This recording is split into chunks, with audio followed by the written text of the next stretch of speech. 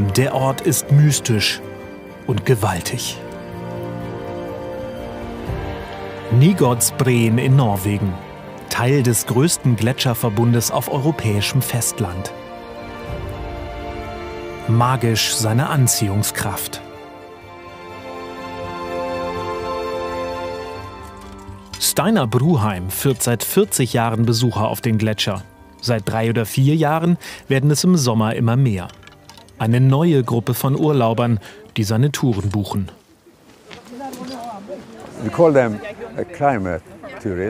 Wir nennen sie Klimatouristen, weil sie, sagen wir mal, vor der Hitze Südeuropas fliehen. Deshalb kommen sie im Sommer zu uns nach Skandinavien, obwohl wir hier vielleicht nur 15 Grad haben und ganz schön viel Regen. Hanneke Bechthöm und Karin Smith sind solche Klimatouristen. Die beiden Freundinnen aus den Niederlanden sind mit ihren Söhnen auf Rundreise durch Dänemark und Norwegen. Ich denke, die meisten Leute wollen immer noch in die Sonne. Aber Spanien, Italien um diese Jahreszeit, das ist in den letzten Jahren immer heißer geworden. Ich halte es dort ehrlich gesagt nicht mehr aus. Vier bis fünf Grad Wassertemperatur. In der Luft kühlende 15 Grad. Heute ist es trocken und langsam kommt sogar die Sonne raus. Auch hier ist es wärmer geworden. Noch vor 50 Jahren zog sich das Eis bis fast hier runter an den See. Doch der Gletscher schmilzt. Allein 100 Meter im Sommer 2018.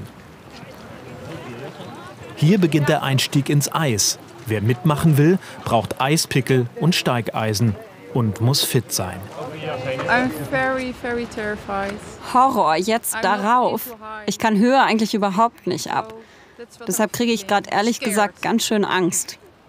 Naja, wenn das alle hier hinkriegen, werde ich es auch irgendwie schaffen. Das Eis bewegt sich.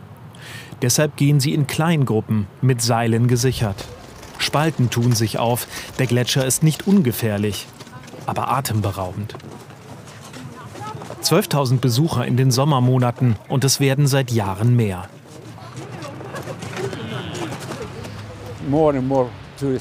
Wir haben in gewisser Weise einen Peak erreicht. Wenn noch mehr Touristen kommen, zur selben Zeit hier an diesen Ort, sollten wir versuchen, sie stärker über das Jahr zu verteilen. Die Sommersaison ist kurz. Für den Nigordsbreen schon jetzt ein Stresstest.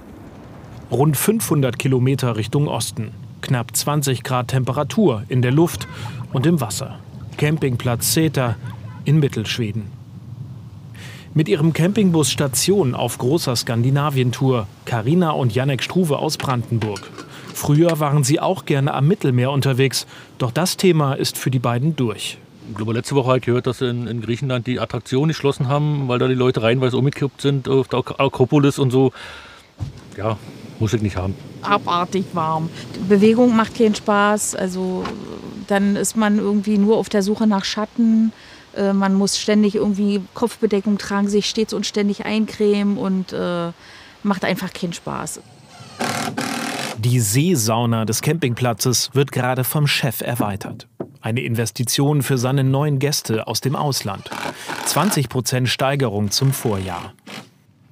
Wir fragen Sie, sind Sie zum ersten Mal in Schweden? Viele sagen, früher sind wir schon in den Süden gereist. Doch jetzt ist es heiß oder es gibt Überschwemmungen. Da entscheiden sich immer mehr Camper für Skandinavien. Absolut. Profitiert der Tourismus in Skandinavien also vom Klimawandel? Die Prognose einer EU-Studie ist eindeutig. Ja. Je wärmer es wird, desto mehr Urlauber kommen künftig in kühlere Regionen Europas. Schweden hat bereits begonnen, genau das zu vermarkten. Unter dem Schlagwort Coolcation sollen Hitzegestresste ins Land gelockt werden. Wir haben gemerkt, dass das Interesse immer größer wurde, als wir angefangen haben, über Coolcation zu informieren. Wir haben auf unseren Websites hervorgehoben, was man in Schweden erleben kann, wenn man auf der Suche nach einem kühleren Urlaub ist. Inzwischen stehen wir bei internationalen Suchanfragen zu Coolcation sehr weit oben. Schweden ist dort heute die Nummer eins. Diese Entwicklung gefällt in Schweden nicht allen. Denn schon heute gibt es Regionen, die in den Sommermonaten unter Massentourismus ächzen. Natürlich haben wir einige Orte, die zu bestimmten Zeiten des Sommers sehr, sehr voll werden können. Wir müssen versuchen, dass nicht alle zum gleichen Zeitpunkt kommen. Nygårdsbreen in Norwegen ist auch so ein Beispiel. Im Sommer herrscht inzwischen Hochbetrieb. Die Gruppe hat ihr Ziel erreicht. Kleine Stärkungen an der Wetterstation.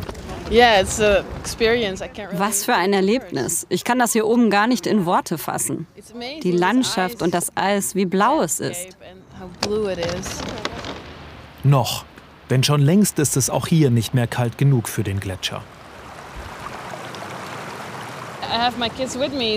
Ich bin ja hier mit meinen Kindern. Irgendwann werde ich nicht mehr sein. Aber was werde ich ihnen hinterlassen? Darüber habe ich heute schon nachgedacht. Auf dem Nigordsbreen wird deutlich, wie stark sich die Welt klimatisch schon jetzt verändert und damit auch die Urlaubsregionen. Den Urlaub nehmen lassen will sich trotzdem niemand. Das macht dem Gletscher zu schaffen. Neben dem Klimawandel jetzt auch die Klimatouristen.